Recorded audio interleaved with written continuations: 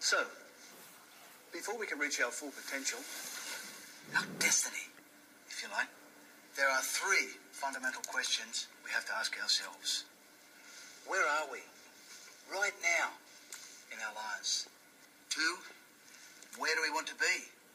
And three, how do we get there in the most effective way? This bloke's on onto something.